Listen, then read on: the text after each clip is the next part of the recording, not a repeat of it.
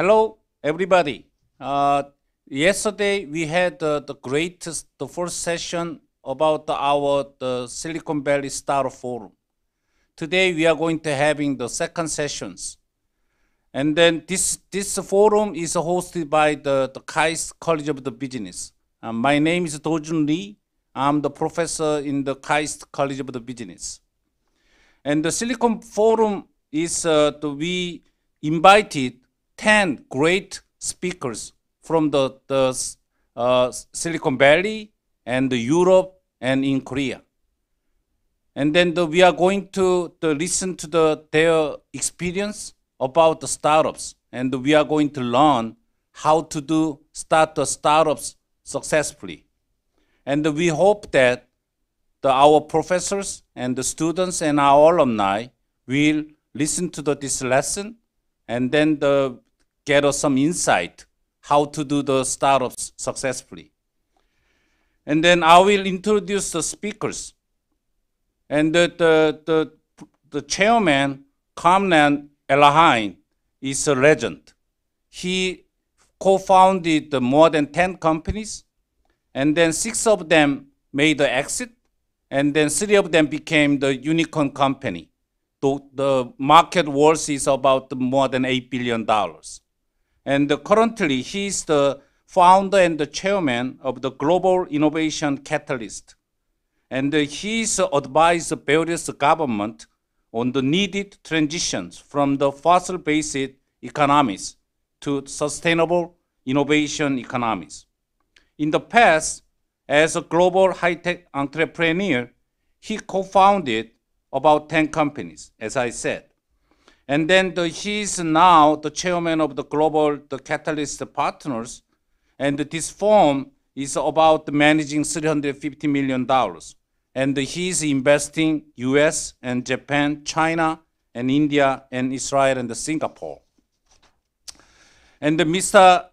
Elahian on the Master of the Engineering degree from the University of Utah, and he began his journey as a serial entrepreneur. And he founded, co-founded Cirrus Logic and the NeoMagic.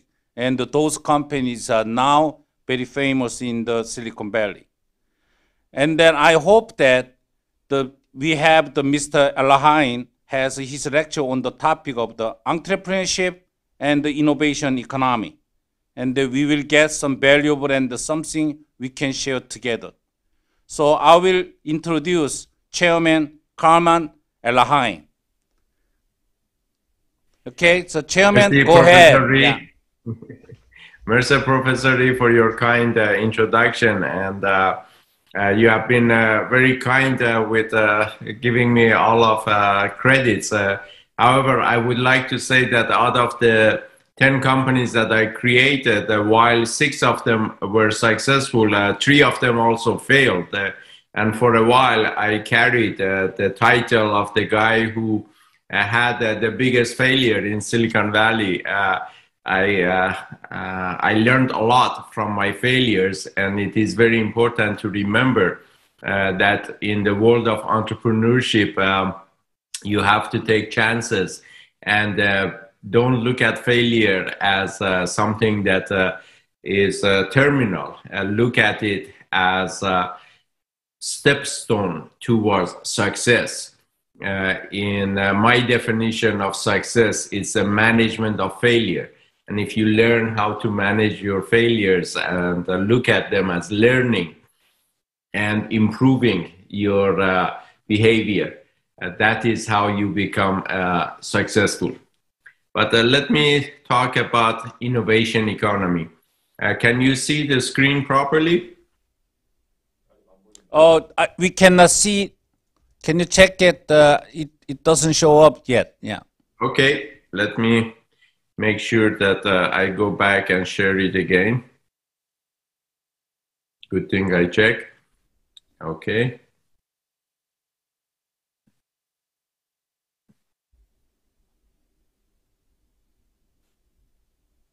It's coming up. Yeah, it's good. Okay, good. All right. First, uh, let me introduce the innovation economy.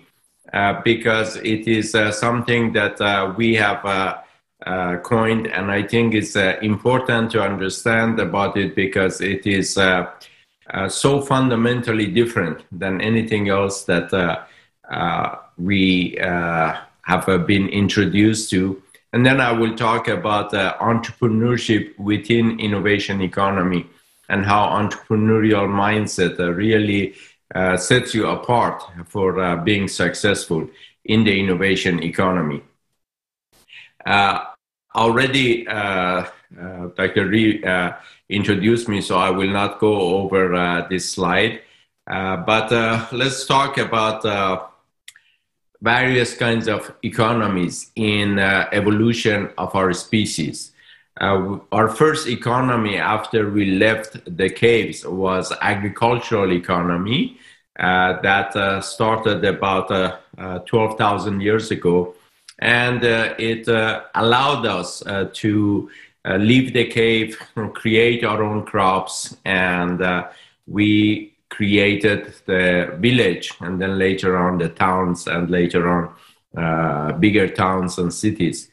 In the 18th century, we moved to industrial economy and we learned how to use mechanical devices, steam engine uh, to uh, actually uh, increase our productivity.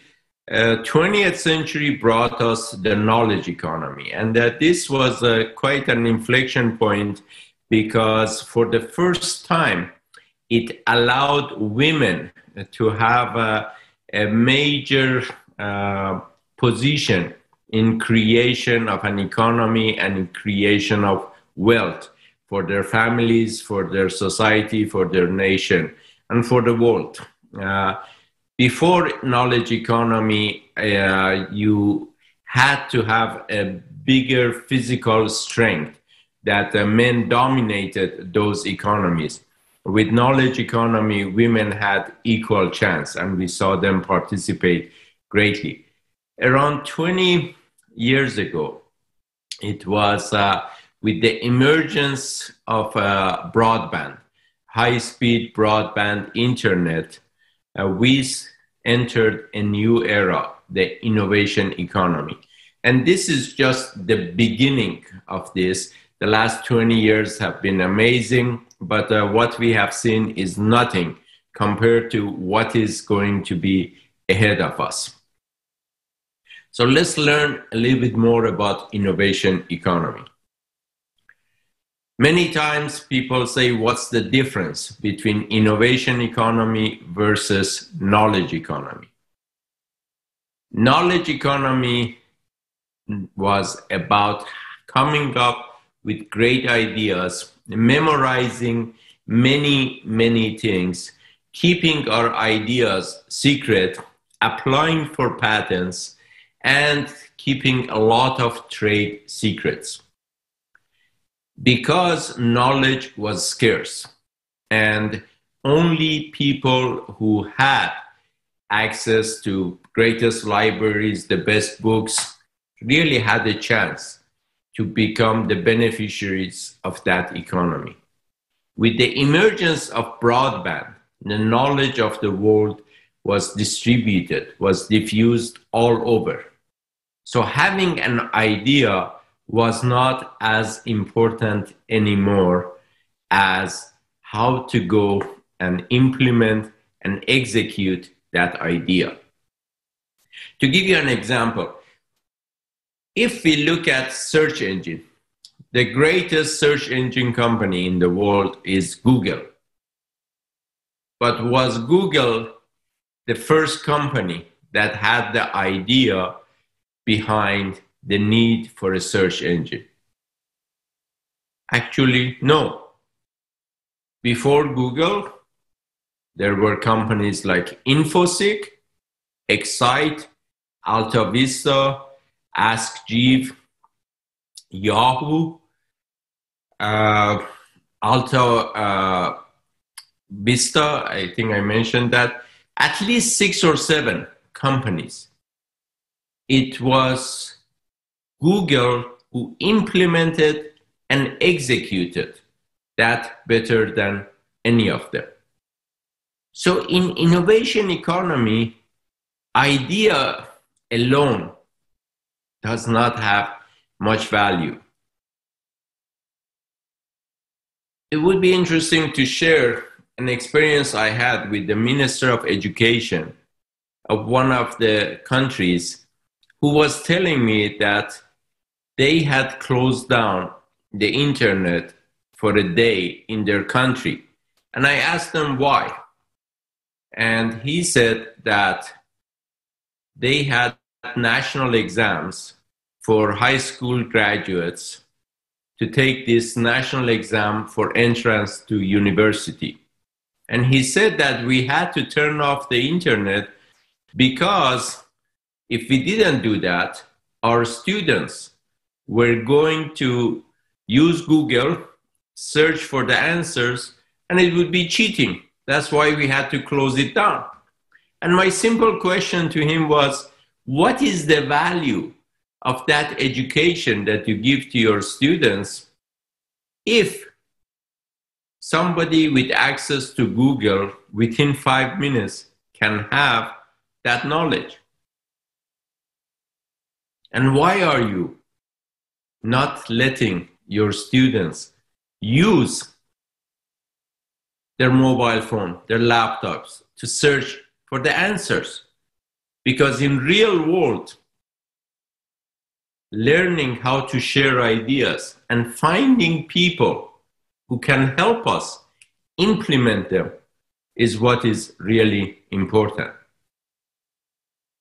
Now, we said that knowledge economy was the domain that allowed women to have an equal chance. Innovation economy, as we are going to discuss more, is about changing business model, disrupting the old way of doing things and doing it in a new way. If you look at the history, how Amazon disrupted the book distribution channels, how iTunes and Spotify and Pandora disrupted and destroyed the music stores. Remember, we used to have these fantastic, beautiful Virgin uh, uh, Records uh, music stores. You would go there and listen to CD and buy a CD. All of those disappeared. How Netflix and uh, Hulu and YouTube destroyed the business of video rental. Innovation economy basically has figured out how to disrupt and change the business model that has been existing in every sector and coming up with a new way we can talk about how Uber and Grab and um, Didi and all the ride sharing thing have disrupted and destroyed the taxi business in so many countries.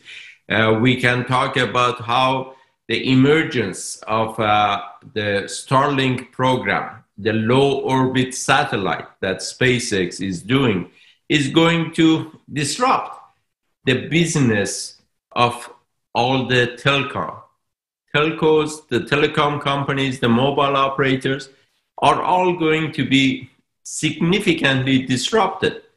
Imagine if SpaceX, through their Starlink program, by launching low orbit satellites, which already they have launched and installed 1,700 of them, they could provide several hundred megabits per second connectivity all over the world and do everything IP based. Who would want to pay for data or voice to any telco? That's the power of innovation economy. Now, about 40 years ago, I came up with this chart that really said how you can create value by using the tools that might be available to you. As you go up through this pyramid and use the tools at the higher levels of that, your productivity goes up and you can create value at a higher speed. Let's look at this in a couple different segments and see how it applies. About five years ago, I was doing a workshop with chief economists in World Bank, and I showed them this and how it works in the field of finance. Here is doing finance manually. This is mechanically. Here is electromechanical. Microelectronics, the calculators revolutionized the world of finance, but it was really the spreadsheet software that changed it completely. However, if you want to be a player in the future of finance, you need to learn about algorithmic content, blockchain, distributed ledger, cryptocurrencies. The world of finance has gone through phenomenal change, and this is just the beginning. And don't be surprised if cryptocurrencies that are based on stable uh, coins become the global currency of the whole world, not just belonging to one or two countries. This applies to every field.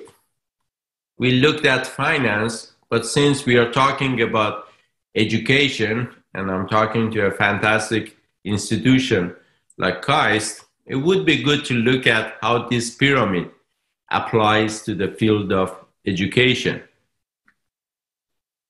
When education was manual, you had to be member of a royal family or part of a big, powerful religious organization to have access to the books which were handwritten. With the invention of Gutenberg printing press, which was a mechanical tool, it changed the world of education and the books became available to millions of people. When electromechanical printing press was invented, the newspapers started to come and reach billions of people. But it was with the arrival of microelectronics and computers and laptops that actually you could put a thousand books, 10,000 books on a laptop. And it disrupted the need to go to a library. Just think about when was the last time that you went to the library? Why would you want to go to library? You can actually have the books on your laptop or do a Google search and read any article that you want. Either download it through Amazon or other uh, uh, services, or go and read it on the PDF format in many different websites for free. Education software revolutionized the whole field of education online courses started to appear and the covid had a huge impact on this and they became very very popular. But if we want to look at where is the future of education already because of availability of broadband every book every article every podcast every vlog blog is available out there and we can go and learn on our own. The basics of an educational institution is changing. Instead of institution having a teacher give a lecture in front of a live audience, it is going to be based on learning, experiential learning, and the teacher acts more like a coach that gives workshops, problems to solve to students, and guides them to go through this path of how they can actually go and select what they need. And more pioneer teachers start to use various algorithmic content with recommendation engines and AI to help themselves in guiding their students. So world of education is going away from teaching to experiential learning. And that's a huge, huge impact. Many times when I listen to World Economic Forum talking about fourth industrial revolution, I agree with them that is happening, but it's not just industrial revolution. It is affecting industry for sure, but it is affecting governments, how they are going to govern. Innovation economy is affecting academics, how the K 12 or universities, higher education are going to operate. Innovation economy is touching and disrupting everything. And as we start to really apply this to every sector, everything we do, whether it is world of finance, real estate, education, uh, world of uh, transportation, uh, energy generation, anything that we apply this, we will see that this pyramid works. So over time, the pyramid is going to, has already become an inverted pyramid and the jobs of future, very few of them are manual, mechanical, or electromechanical jobs. The jobs of future are software and algorithmic content and learning how to use those tools effectively on value creation. Now, this is not theoretical. Let's look at the top 10 highest value companies in 2009. They were ExxonMobil, PetroChina, Walmart, China Mobile, Procter & Gamble, Microsoft, ICBC, Johnson & Johnson, AT&T. 10 years later, they were Microsoft, Apple, Amazon, Google, Facebook, Alibaba, Tencent. New ones, all software and algorithmic content companies. And this is just the beginning. Of course, we will have temporary uh, changes right now because of uh, disruptions and the COVID effects uh, in our uh, supply uh, chain. Some resurgence on price of oil and gas has come, and oil companies have started to have values, high values, and it would be the case probably for a couple more years. But writing is on the wall. If you look at with how many companies have announced uh, electronic vehicles and how many uh, companies have committed not to make combustion engine the world of transportation is going to become all electric and you look at tesla which pioneered this has already been worth or close to or over a trillion dollars. And it's not just because it is an electronic vehicle. Every Tesla has got these sensors that collect the data and has very powerful software with connection to the cloud that allows them to capture gigabits of software globally per second and load it up on cloud about the road conditions, about the construction, about traffic conditions, safety, all sorts of other things that allows Tesla to become a leader in self-driving cars that are approaching us next. Now, it used to be that if you wanted to innovate, you had to come to Silicon Valley. For me, I was born in Iran, but I had to come to the United States to study here, and I had to come to Silicon Valley to start my first company. In 1980, I started my first company. However, not anymore. This slide is actually a couple years old. It shows you the global unicorns. And you see that you don't need to come to Silicon Valley or you don't need to come to the United States anymore to create a unicorn. They have started to appear first in Europe and Asia and now in Middle East and Africa. And the effects of COVID 19 have been the acceleration of the adoption of technology in telemedicine, in teleworking, in teleeducation. So, what we see has been just the beginning and it's just going to become exponential growth on having innovation economy disrupt everything.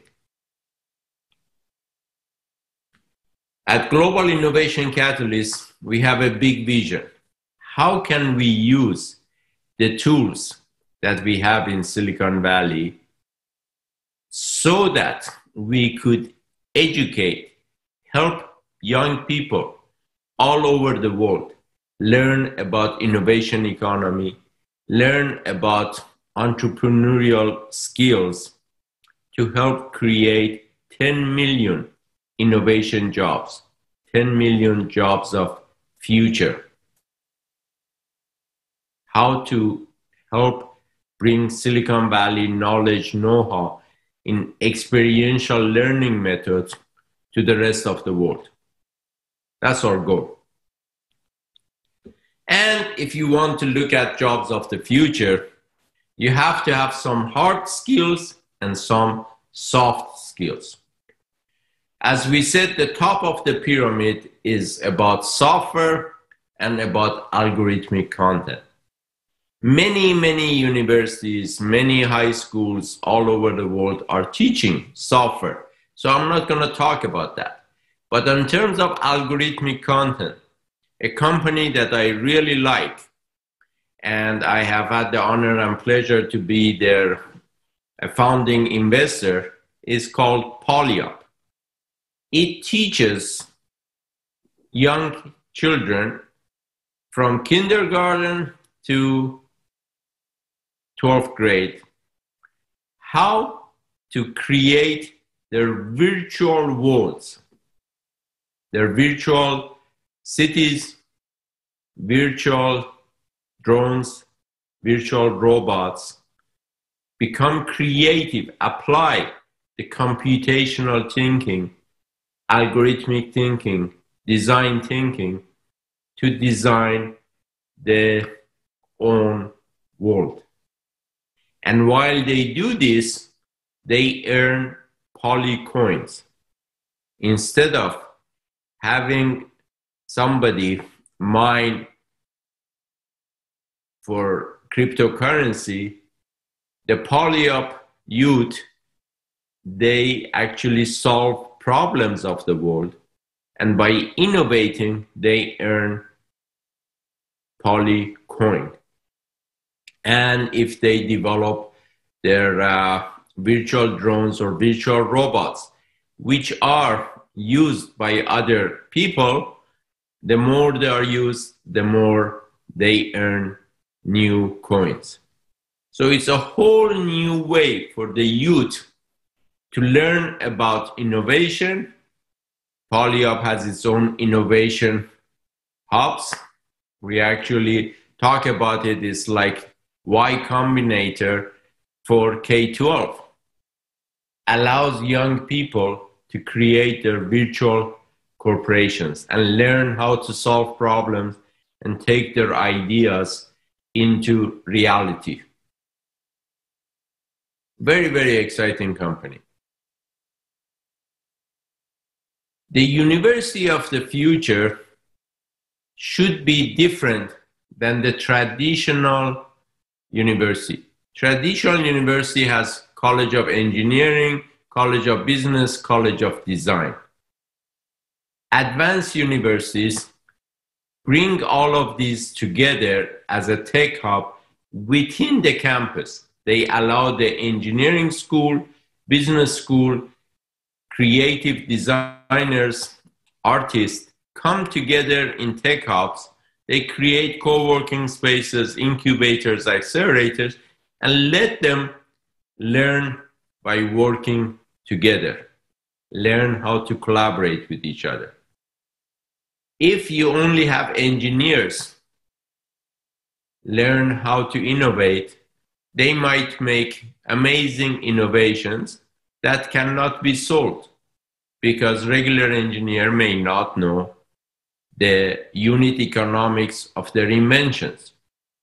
If you bring business knowledge into engineering schools and help them learn about product marketing, market segmentation, product development, all the things that are important for an engineer who wants to develop a new company, then you could have quite a successful company like Microsoft. However, if you remember Microsoft, you had to just get Windows start. You had to do Control Alt Delete. Three fingers you had to put down to get Windows started. You might say, why? Who was the genius who thought of that? Why shouldn't it be so easy as an Apple iPhone? On iPhone, you just tap on the screen, it recognizes your face, and bang, the computer starts working. The reason is Apple brought the creative art knowledge. Steve Jobs himself had studied calligraphy and he understood that the products had to look good and also be easy to use. So these are the three key ingredients that we need to bring people together to share with each other. Now, some universities in some countries recognize this and they create these tech hubs within their university. Some of them, like Stanford, actually teach business courses within engineering schools. Stanford has been doing it for more than 30 years. But in many countries, ministries of education do not understand this and they are creating traditional universities. However, there is a movement by the private sector or some of the municipalities, the city mayors, or some of the state governors who create these hubs as part of the private sector or private public cooperation. In Africa alone, there is over 600 tech hubs all over Africa. There is an organization called AfriLabs that they have had the privilege of attending and speaking in their conferences. AfriLabs already has close to 300 members from all these different tech hubs from all these different African countries. They just had their uh, annual gathering, their 10th annual gathering last week. And it was joyful to watch how amazing this organization has become and how it has helped create a new Africa by working with the young people who are very innovative. But it's not just Africa. This is a partial list of Middle East. You look at countries like Egypt, Morocco, Saudi Arabia, Lebanon, Kuwait, Jordan. This is a very small list of the tech hubs, innovation hubs within all of these countries. So the world is changing and is recognizing that they need to create universities of future by creating these tech hubs and teaching people by letting them learn by experiencing themselves. Experiential learning happens at the tech hubs. Now, what are the soft skills that you need to move from a fixed mindset to an innovation entrepreneurial mindset? Fixed mindset, you're afraid of change. Innovation mindset, you strive for change. Here you have fear of failure. Here you look at it as stepstone to success. Single tasking, multitasking. Fear of feedback, feedback helps you grow. Jealous of others' success, innovation mindset is inspired by other people's success. You don't win but putting people down. You help everybody rise up. You just work harder to rise up above them. Keep ideas secret with innovation mindset. You share and learn to collaborate.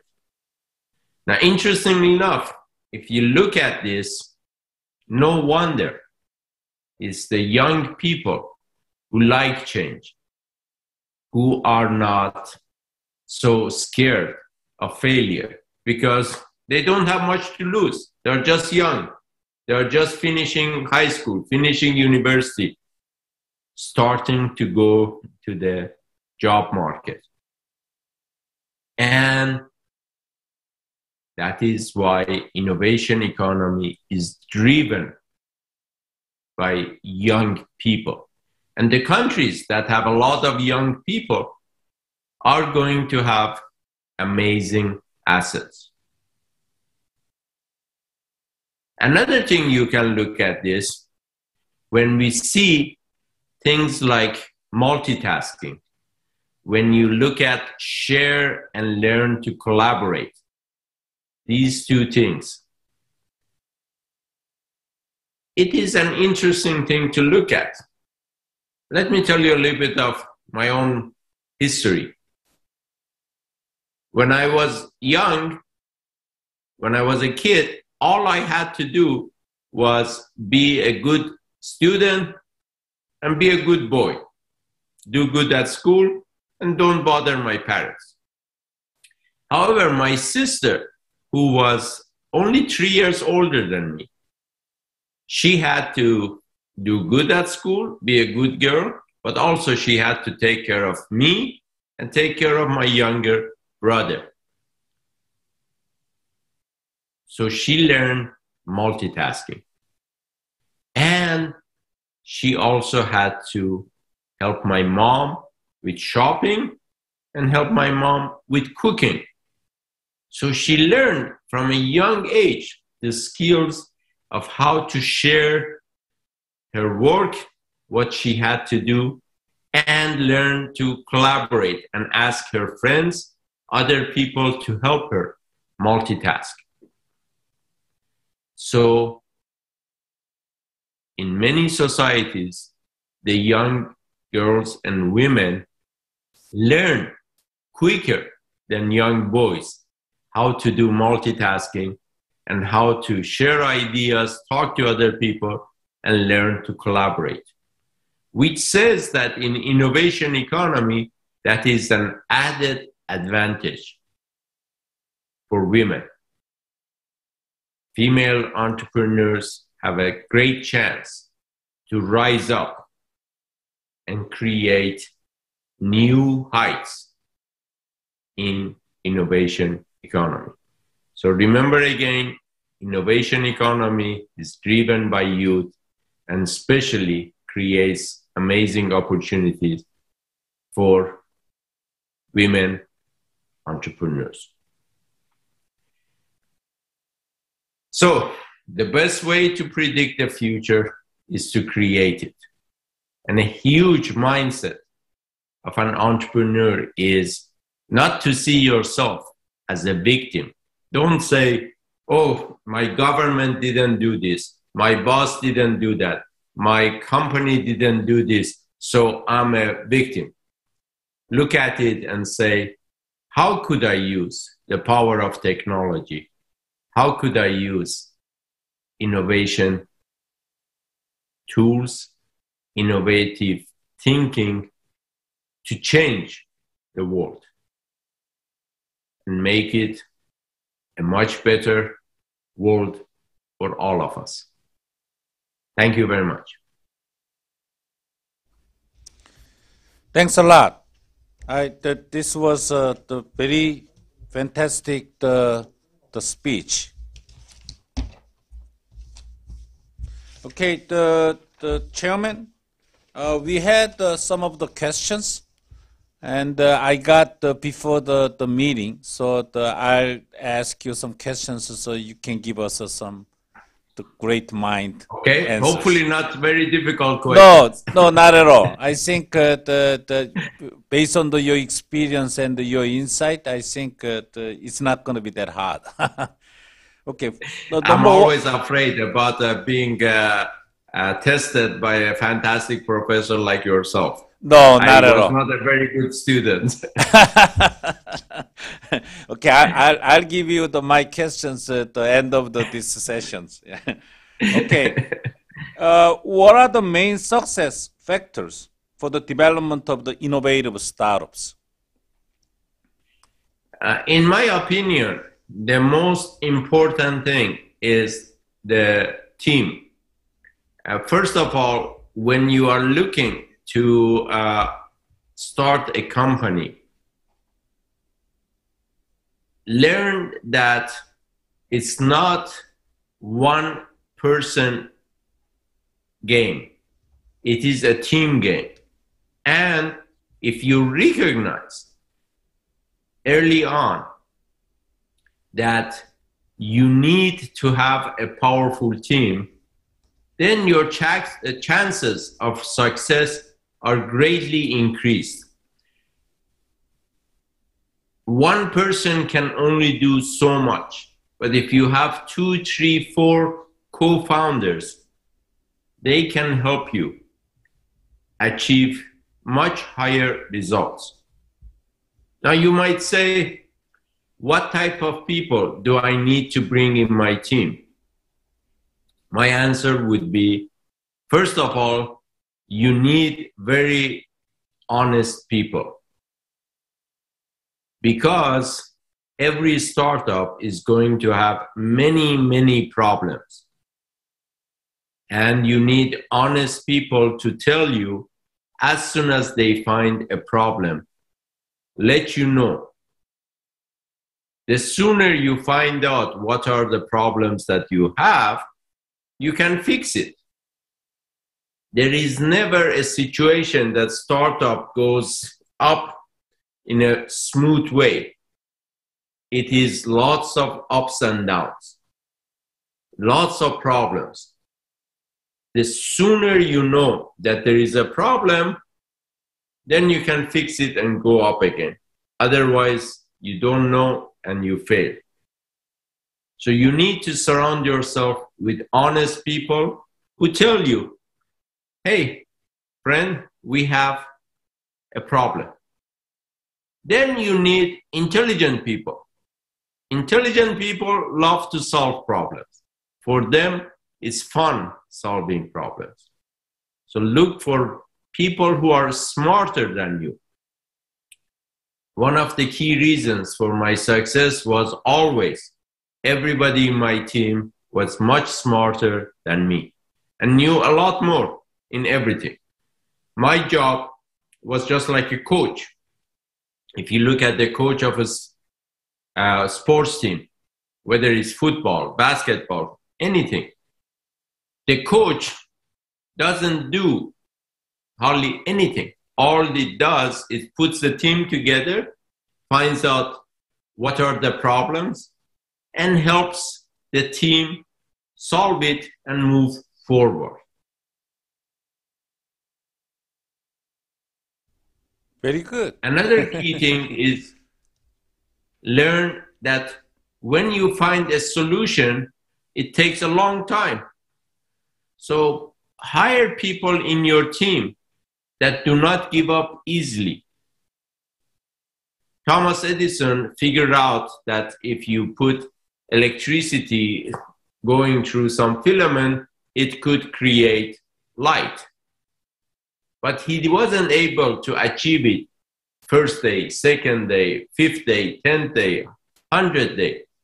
It took hundreds and hundreds of trials with many different elements till he finally was able to make one that works. So you need resilience, the people who do not give up easily. And you also need to hire people who like to work together as a team. Because when a team member says that we have a problem, there has to be trust and people work together to solve that problem. And many times when you are ready to give up, if you have a good team, they come and tell you, no, no, no, let's work together, we can find an answer.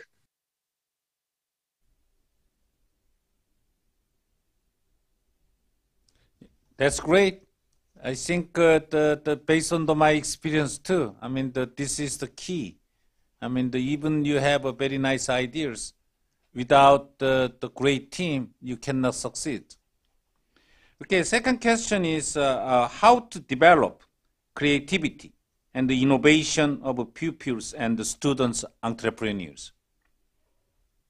Well, uh, as I mentioned before, if you create these tech and get the people to come and get them to start to think whatever how big their idea might, might be get them to start to work on it. And through this process they learn how to find and attract co-founders. They learn how to work together to solve problems.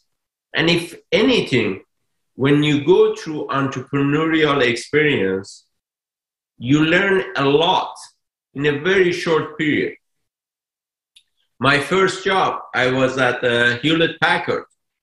For a couple years, I worked at HP. And all my contacts were with engineers because I was an engineer, an engineering manager. I only met engineers. But when I started my first company, within first six months, I learned about marketing, about sales, about organizational development, human uh, resources, finance, so many things.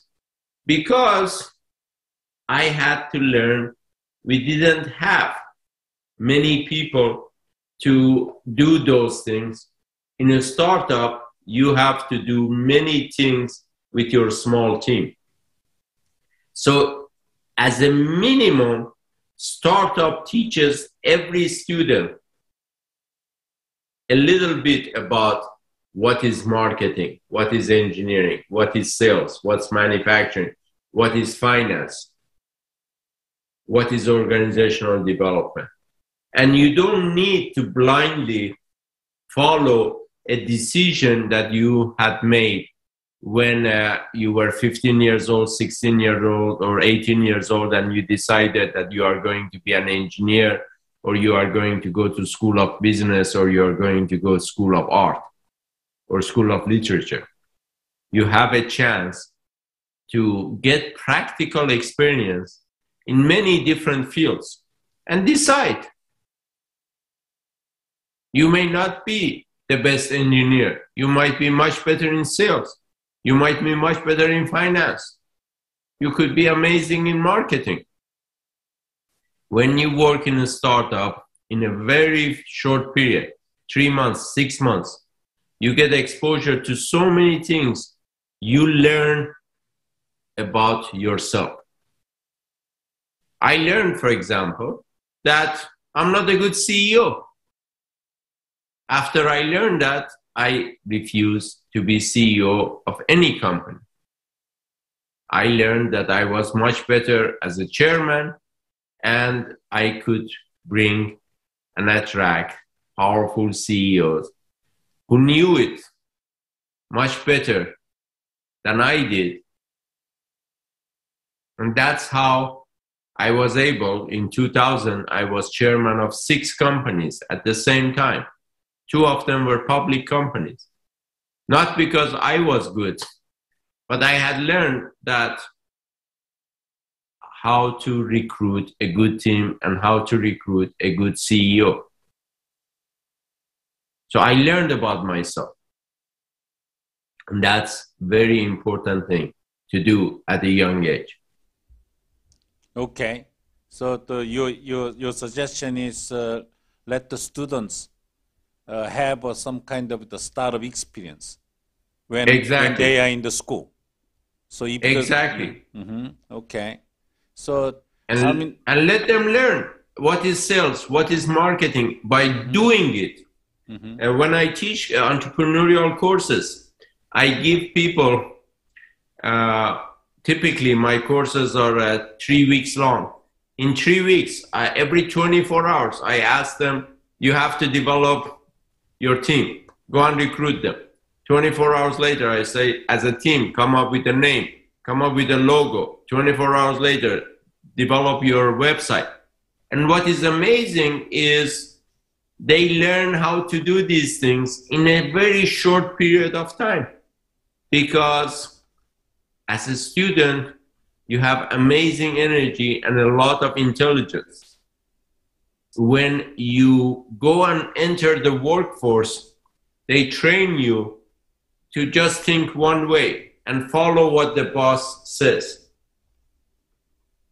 If you go and become entrepreneur at young age, I'm not saying everybody should be entrepreneur. I'm not saying everybody should be CEO. No, not at all it would be very sad society if everybody was a CEO who would do the work. it is an, an amazing experience for a student to learn a little bit about many, many different fields and learn how to select a career path based on their real interest. Some things we are good at, but we don't like to do. Some things we like to do, but we are not good at. Some things we love to do, and some things we hate. The most successful people are the people who go and find something that they love and they are also quite good at it when Michael Jordan was trying to do both basketball and baseball, he was a failure. But when, because he was, he loved both of them. He was very good in basketball, but not so good in baseball.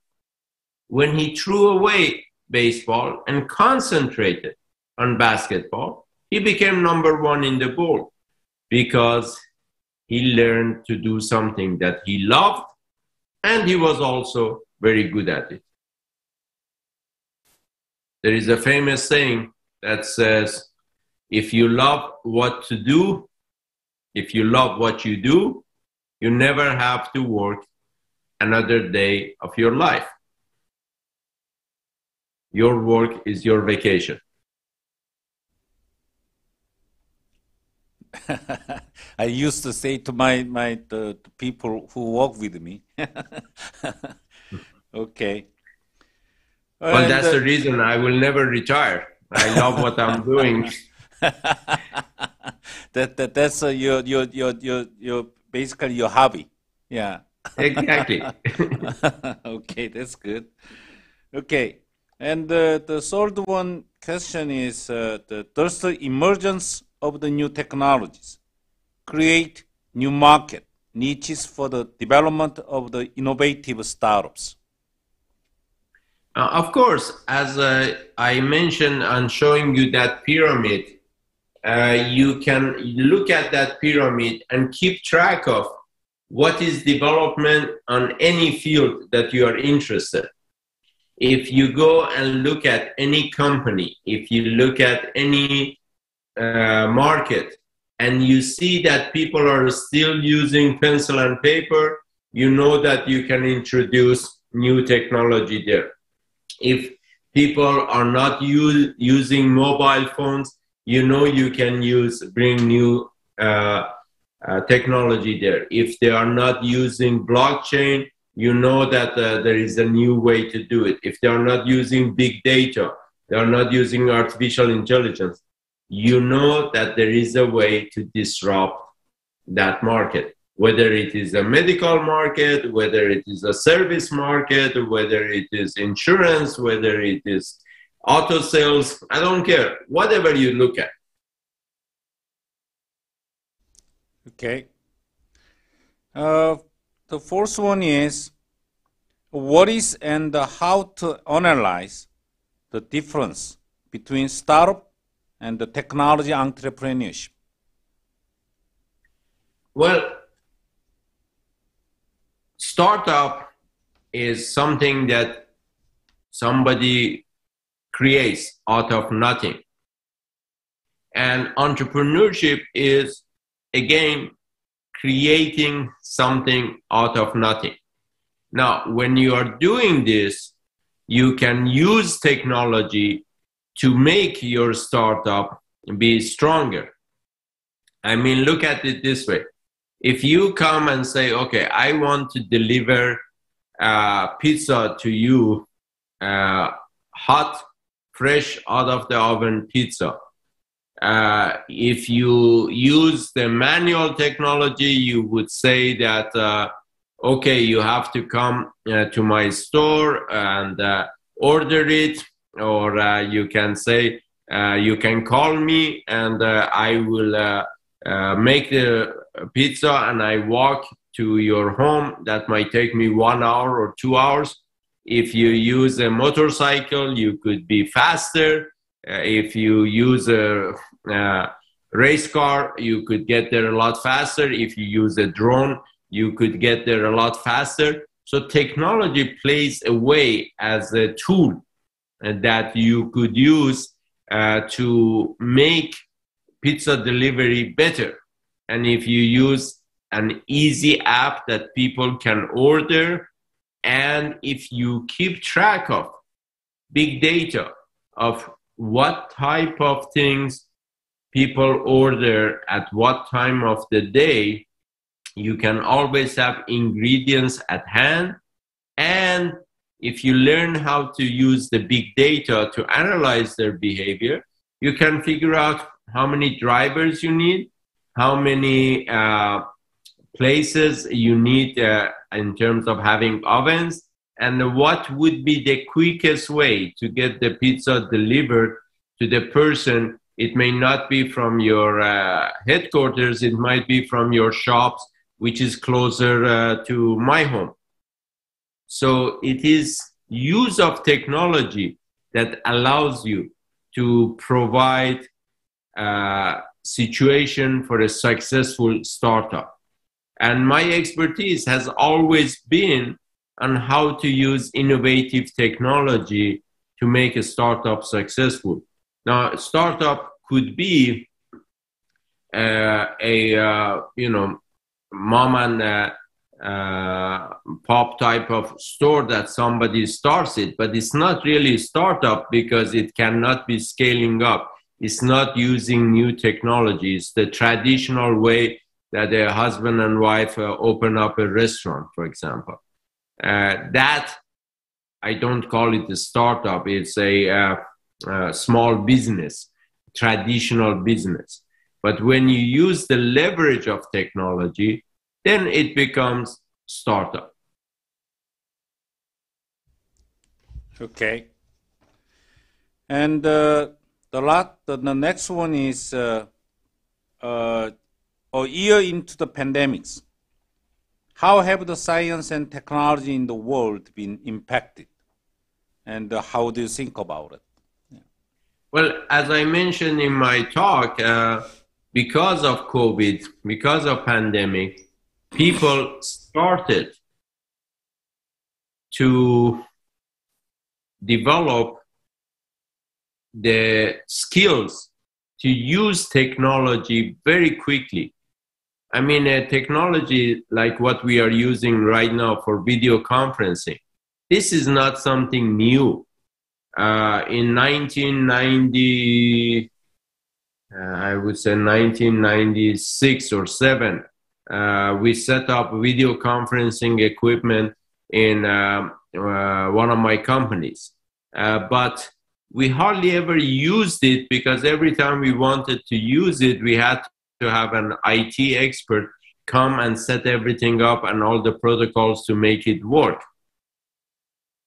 However, because of COVID, the need became so high that companies like Zoom came along that everybody learned how to use it. My mom, who is 95 years old, she uses Zoom. So COVID allowed the people to change behavior and learn how to communicate using technology. And as I discussed, this effect was in education, it was on medicine, health, on, uh, uh, on uh, work.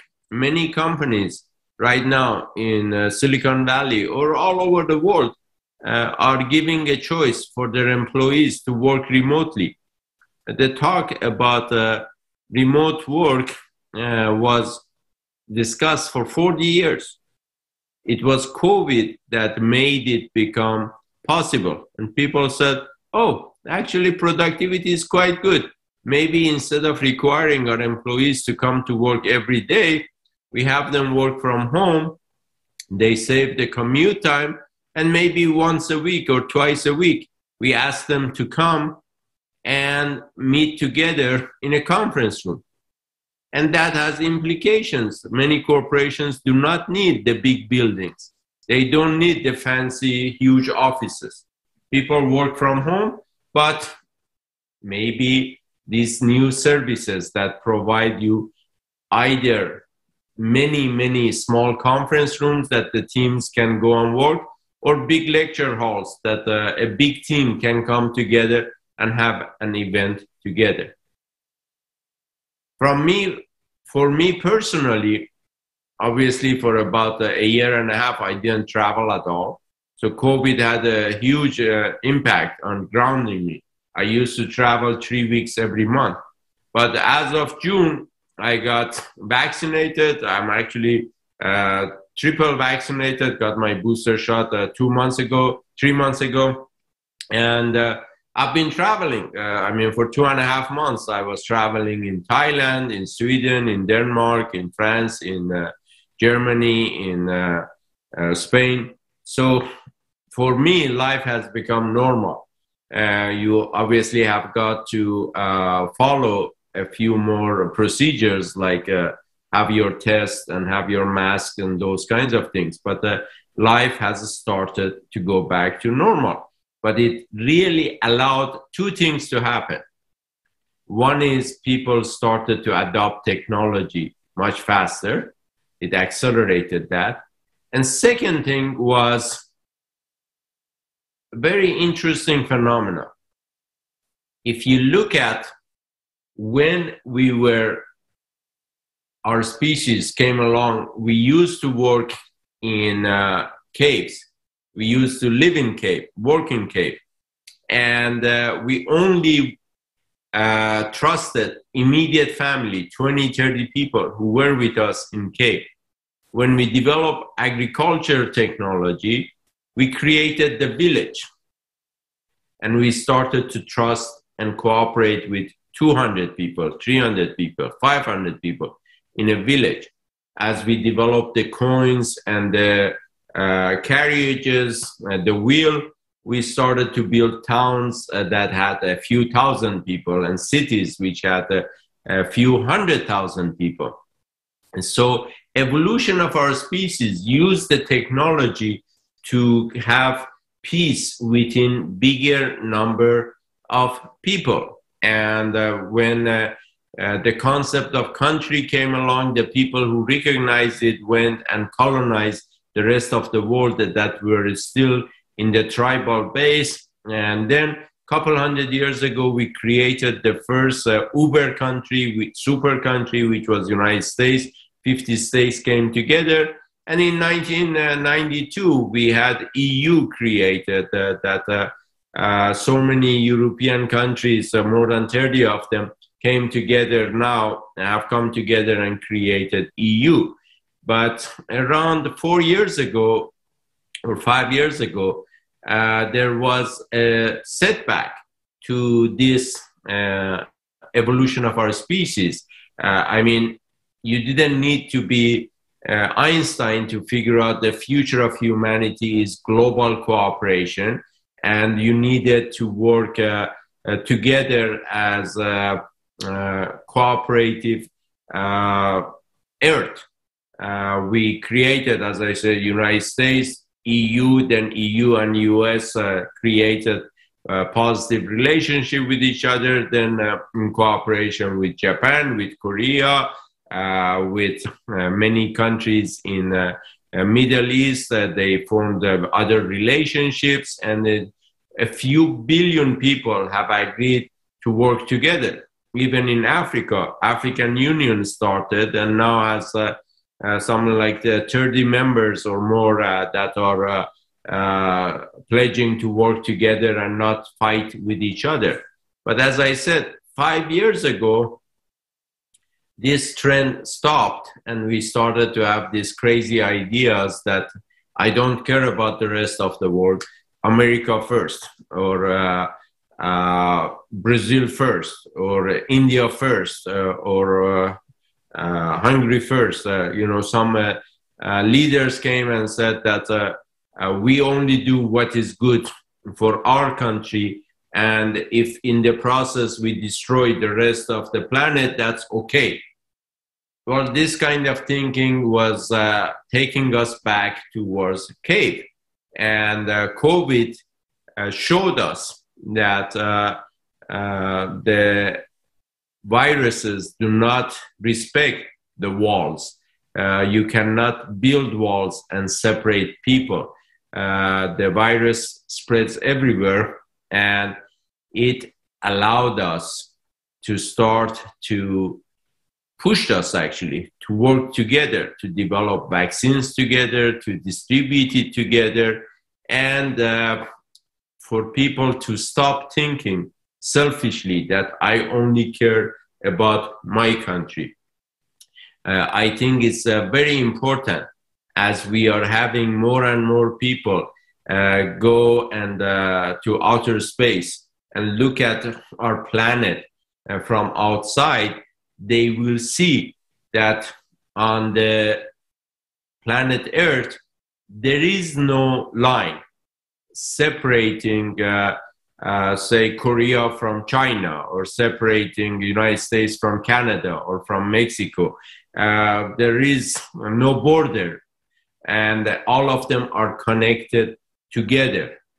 I was born in Iran, and if you look from space station uh, to Iran, there is no line between Iran and Turkey, Iran and India or Pakistan. All of these are connected together. You cannot even find your country easily.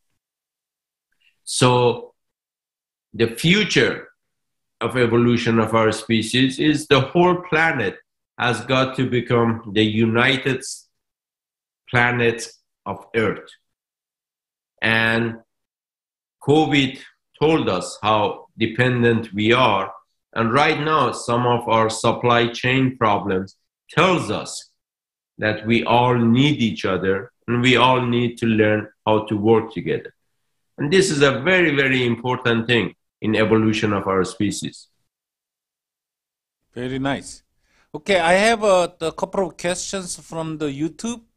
And the first one is, uh, what are your opinions in the role of the R&D in the innovation economy? Well, you can't have innovation without r&d uh, there is uh, research long-term research that uh, is done by uh, some big corporations or some uh, government institutions, uh, but more and more people are recognizing that to make the development side of that happen, we need new techniques. One of the things that everybody has to learn is instead of locking yourself up in a research facility and uh, thinking that you should do research and develop something that might be useful to human beings, it's much better to quickly develop a simple prototype and go out there and test it. You might be surprised that what you think the world needs is different than what actually is needed out there. So it's very important to look at rapid prototyping as a part of R&D. Don't do research in vacuum.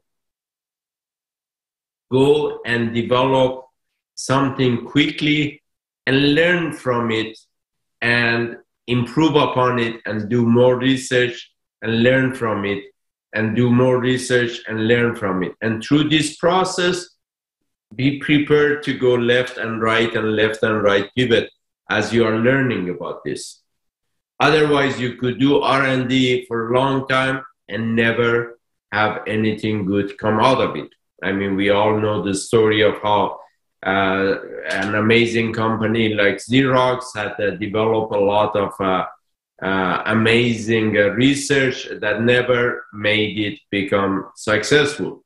Or Kodak uh, developed so many amazing research that none of that was used and effectively marketed to save Kodak, and it went bankrupt.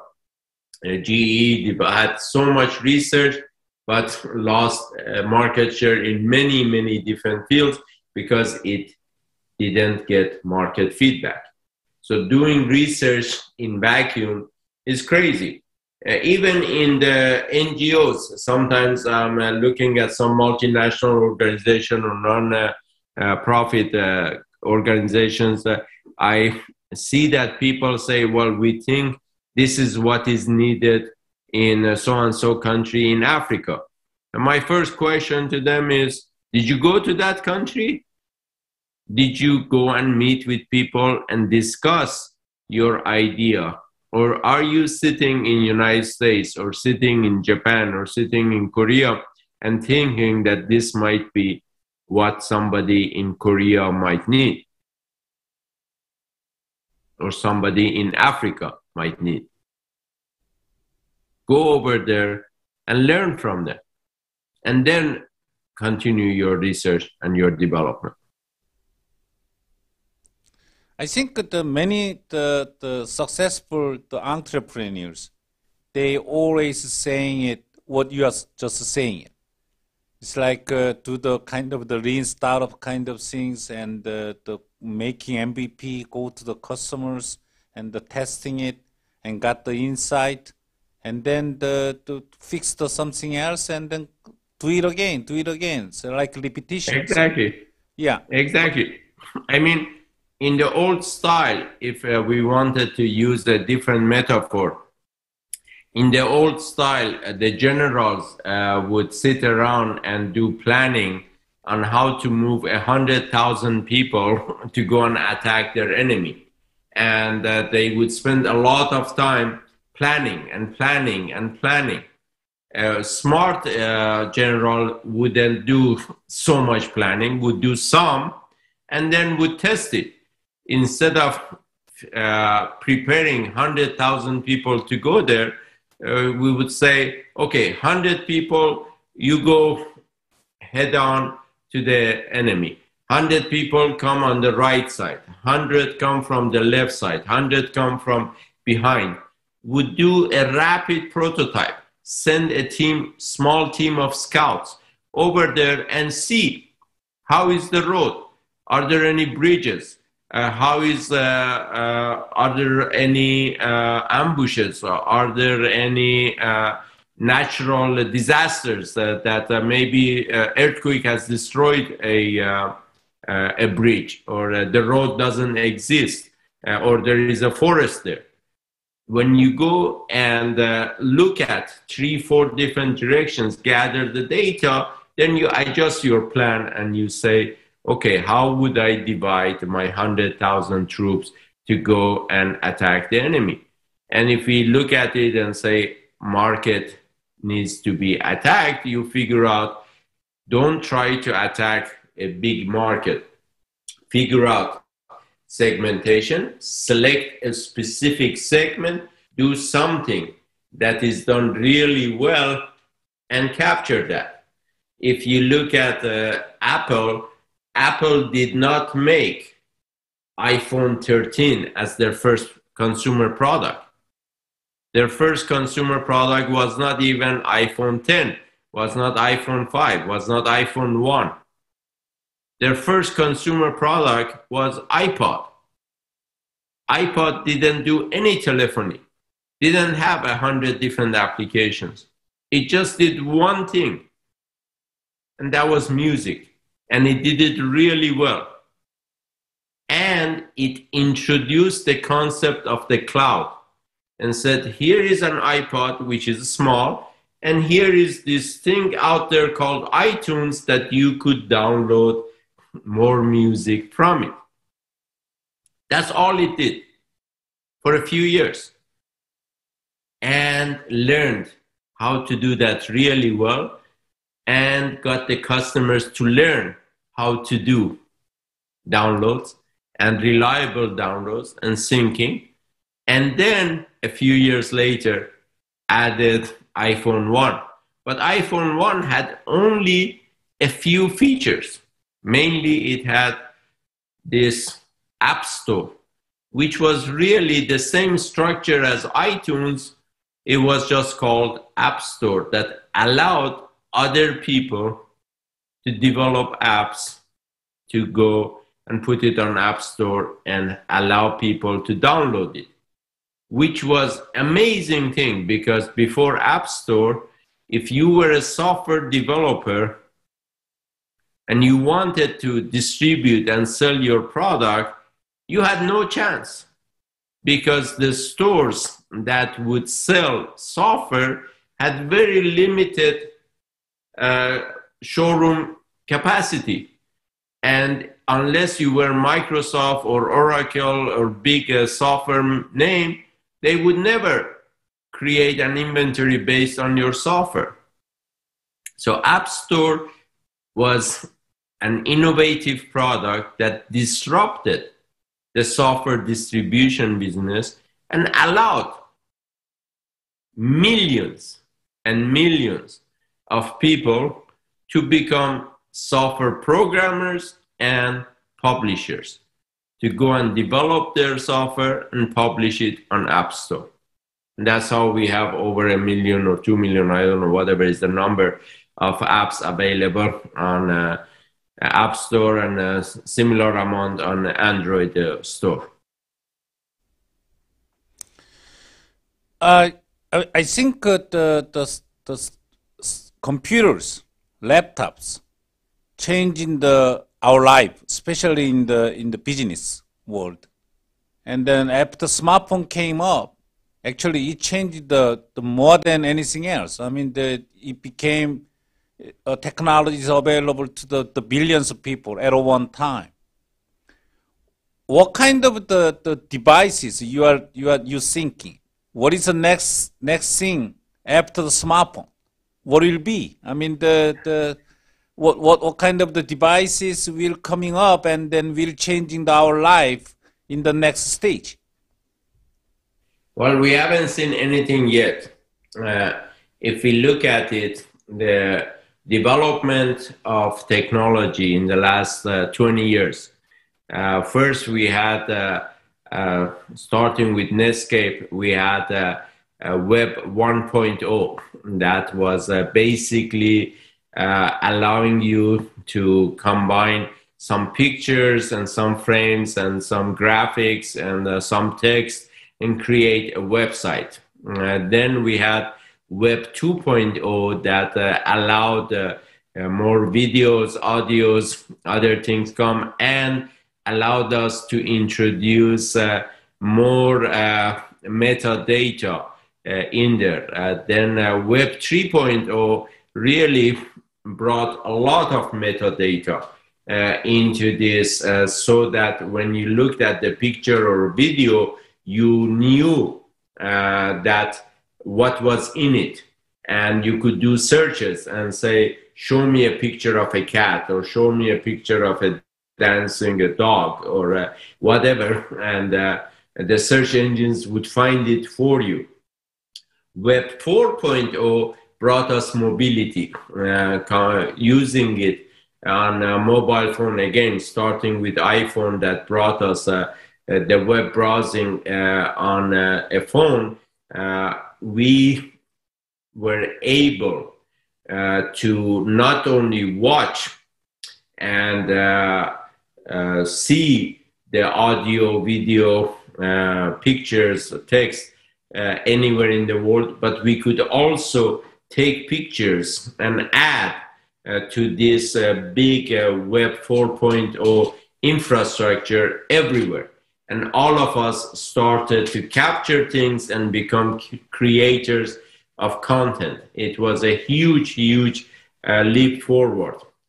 Uh, Web 5.0 is going on right now is uh, the web is capturing all of our emotions uh, so that as we say that I really like this uh, song, I hate uh, this comment, uh, I enjoyed this movie, uh, I didn't like this book, as we comment up and down with emojis on various pieces of content out there, it's all captured and Web 5.0 uh, is actually uh, amazing in uh, capturing all of the emotions of human race in there based on geography based on time of the day and you can do some amazing amazing uh, searches. Where i see coming on web 6.0 is uh, very interesting. Uh, i see on web 6.0 the sense of smell is being added. Uh, we have seen companies uh, developing devices which are a thousand times to 10,000, 20,000 times more sensitive than the nose of a dog. Now imagine the power of that. If you have sensors who can pick up the smell of the things at the atomic level, or even better at the subatomic level. Then we can uh, easily uh, predict the behavior of people because human beings give out different uh, smells depending on what type of uh, hormones uh, we produce and we release on is it dopamine which is joy and happiness or is it some uh, uh, you know uh, hormone that is um, showing anger and showing danger or being afraid. this would actually be revolutionizing. we would not have the uh, big lines of security checks at the airports or at the uh, train stations. Uh, we can just have these sensors pick up uh, uh, whatever is it that you are feeling and whatever it is that is in your luggage. And uh, uh you can just uh, move uh, very nicely and effectively do your business very simply. This web 6.0 really is um, giving a central uh, I guess, uh, repository of all the audio, video, uh, text, uh, pictures, senses, uh, emotions, smells uh, we have. We are really creating uh, an, a synthetic God that knows everything about what we have done in the past, what we are doing right now, who has been good, who is not so good and uh, who is going to do something good or who is going to do something bad. Uh, it is a very interesting thing uh, that uh, rhymes with uh, many other things that uh, we have had in the past. the mythology that was organic mythology. We, had a, mythology of dragons that you could ride and fly everywhere, and they could send um, uh, the fire. Uh, well, we made the airplanes and we made uh, these jet fighters with napalm bombs that could do that. or we had the mythology of um, uh, you could ride a bird or a flying carpet uh, that uh, you would sit on it and it would take you everywhere. Well, now, first we made airplanes, then we made the helicopters. Now, with the new drones, we are getting very close to make that happen. Uh, so the mythology of uh, every mythology that we have had uh, synthetically with innovation, we are making it uh, become a reality. And uh, we have had this uh, mythology about God, that there is a source of knowledge out there that is organic, that knows everything, all the knowledge of the world in every language, and knows what we have done and uh, who has been good, who has been bad, and what we are going to do in the future. All the knowledge of the world. Well, we are creating the synthetic uh, uh, God, the synthetic version of that. Uh, that uh, is Web 6.0. And what is very interesting to me is actually Web 7.0 that uh, maybe we don't have time to go and uh, talk about that, but uh, there might be a moment of a singularity for uh, the organic cloud and the synthetic cloud come together, and uh, uh, humanity would take a giant leap in evolution of our species towards the next step. I think that will be very interesting. so, is there uh, many companies in the Silicon Valley which is preparing this uh, Web 6.0 and uh, 7.0? Uh, uh, I don't know, to be honest with you. Uh, I stopped investing about five years ago, so I'm not uh, familiar with uh, all of the new developments that are uh, coming along. But if you learn uh, certain things uh, about uh, how the universe works and how uh, the human beings have uh, four dimensions. Uh, as human beings, we have the physical dimension, we have the intellectual dimension, we have the emotional dimension, and we have the spiritual dimension.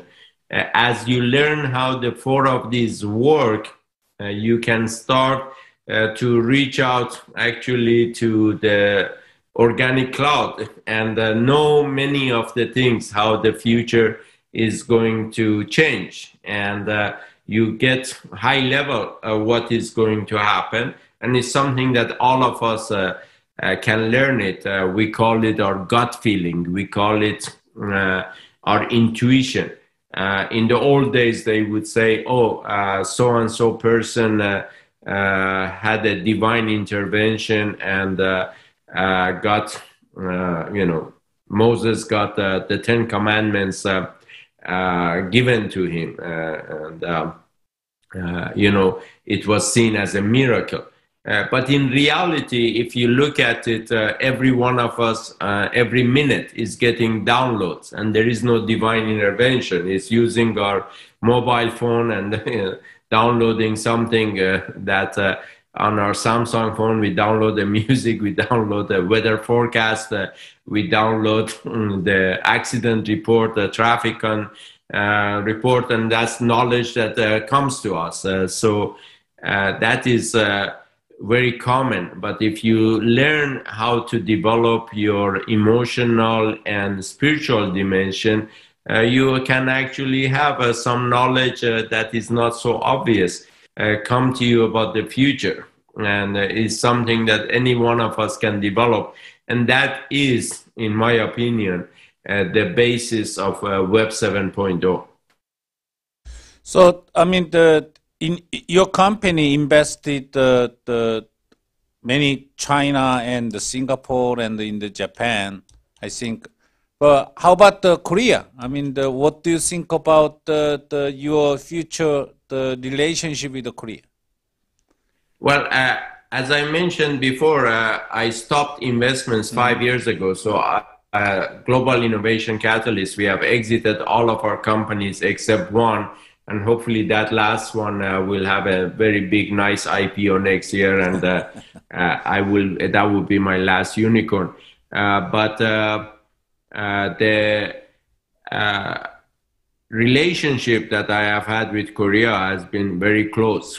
Uh, actually, my first trip to Korea was in 1986, and at Cirrus Logic, uh, we formed a very nice, powerful uh, relationship with uh, Samsung Semiconductor as our foundry, and I have loved Korea for many years, and whenever I've been in Korea, I have really enjoyed that. And um, in uh, uh, one of my companies uh, uh that I was a founding investor in called Beceem, uh, we develop uh, WiMAX 4G technology. And our first partner was Korea Telecom because we had such a uh, amazing uh, relationship with them. Uh, and Korea was so much advanced than anywhere else in the world in mobile technology. So I've been coming to Korea for uh, many years now, and uh, unfortunately, due to COVID, the last uh, couple years it has been very difficult. And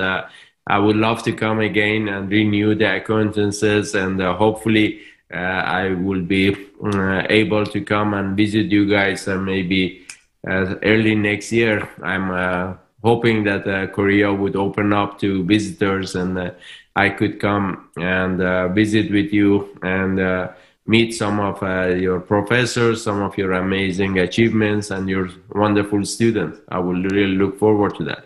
Ah, that that'll be very lovely. I mean, the, the just let us know the, the when you are coming to it, and uh, please give us a live speech live le- lectures. Yeah, so the, I will prepare for that. And uh, the next one is uh, you are you are nowadays uh, the traveling a lot for the kind of the the working with the UN. And uh, can you can you tell us about your activity nowadays? Well, uh, with uh, UNICEF, uh, I have uh, uh, these projects for helping on uh, new generation. Uh, uh, the UNICEF has a very interesting program that, for the first time, is not just working with children up to age 18, but it is working with youth from age uh, say 15 to uh, 25 and uh, the big problem that they have seen on this is how to create jobs of future for them. Uh, so I have been an advisor to UNICEF Innovation Labs, and also I'm very interested in UNICEF's uh, uh, Giga project that has spun off or is spinning out of UNICEF that is looking to use low orbit satellites to provide low cost or free uh, connectivity to all of the schools all over the world. Uh, so those are two of uh, very nice projects that uh, I really like. Uh, and uh, at Global Innovation Catalyst, as I said, our big project that takes all of my time is how to help create 10 million jobs of future, innovation jobs for the young generation, and really help teach the experiential learning method to many different universities, many different institutions, so that young people learn by doing things, by experimenting, rather than uh, just uh, uh, listening uh, to lectures. Okay. Uh, in, in, in KAIST, the, I'm teaching the Lean Launchpad, which I learned from the Steve Blank. And uh, the, we are, Excellent. we are, yeah, we are teaching the, the our the, the College of the Business people using the online uh, startup the uh, actually the execution plan. So the- Wonderful. yeah, so And that's we, the kind of innovation that we need in education. KAIST Uh-huh. is very much ahead of that. So the, hopefully the, I can introduce some of the our the platform to you, and then you can utilizing those things for the, the teaching the people, young people, for the- Absolutely. the, startups. Would love that. Okay. Absolutely. Would love that. Love to Uh-huh. learn from your experiences and uh, work together. Yeah. That would be lovely. Uh-huh. So I mean, the, I think uh, the the hopefully you can give us uh, our KAIST to the professors and the student and alumni, which is uh, looking for the startups. They wanted to, they have brilliant ideas, and they wanted to start some companies. So you can give me the some advice for them, the, what what Well, they have to do. Yeah. It seems to me like uh, you are up to uh, great uh, uh, uh, work already. You have done uh, some amazing uh, job, and uh, I'm really looking forward uh, to see how uh, in my hopefully soon trip uh, to Korea we could work together and uh, take some of the knowledge and know-how that KAIST has uh, to developing world and make. The lives of many people better by using the technology of KAIST and the entrepreneurial methods that you are uh, helping your students uh, experience uh, to become a, a global force for good. Okay, so I think uh, the the I think there are no more questions is coming from it. So the I, I really appreciate uh, your speech today, and uh, I really working to, to looking to, to see you in Korea, and then the, please uh, the, let us know when your your next trip to Korea. Okay. Absolutely, and I will warn you in advance. I love Korean food, uh, so be prepared uh, to take me to very nice Oh, Korean yeah, sure. restaurants. I- Don't- don't I worry about absolutely that. love Korean food. I love to see you again. Okay, so Okay. thanks for your time, and I, I the, again I, I really appreciate your participation for our forum. So the hopefully Thank you, can and thank you to all your students and professors. Love you all. Appreciate it. Uh-huh. So hopefully we can uh, invite you next next year too. Okay. Absolutely. Look All right. forward to that. Thank you, Chairman. Thank you. Bye-bye. Okay, bye bye. Okay, so the, we had the, the second session today, and uh, hopefully the, you guys can join the next next time. It's the third session is with the Steve Blank, who is the, the creator of the Lean Startups. So the, the in the next Tuesday, the 9:30, I would like to see you guys again. Thank you very much.